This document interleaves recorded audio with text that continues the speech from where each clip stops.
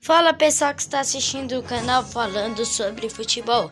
E neste vídeo vamos falar sobre os quatro maiores times do Acre.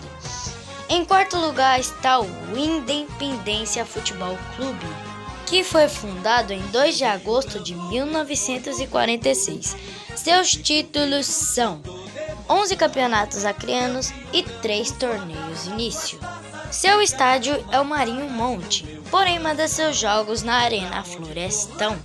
Em terceiro lugar está o Atlético Acreano, que foi fundado em 27 de abril de 1952. Seus títulos são nove campeonatos acreanos e 10 torneios início.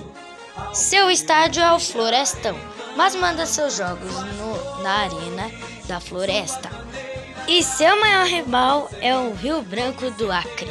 Em segundo lugar está o Juventus do Acre, que foi fundado em 1 de março de 1966. Seus títulos são 14 campeonatos acreanos e 10 torneios início.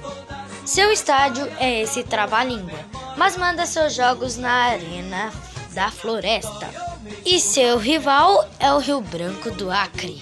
Em primeiro lugar está o Rio Branco do Acre, que foi fundado em 8 de junho de 1919.